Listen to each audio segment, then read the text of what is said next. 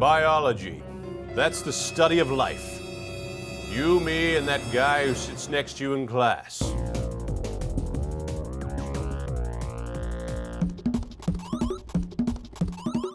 Now let's dive into the poster child of evolution, natural selection.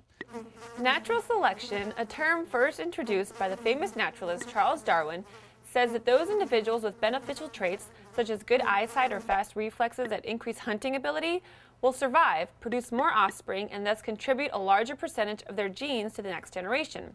Those with unbeneficial traits, such as being slow or weak, do not survive or reproduce. So the beneficial traits are the ones that end up getting passed down and the ones that end up being prominent among a species. Let's say we've got some elephants that live in a land where it rains 90% of the time. Some of the elephants have waterproof skin, and some don't.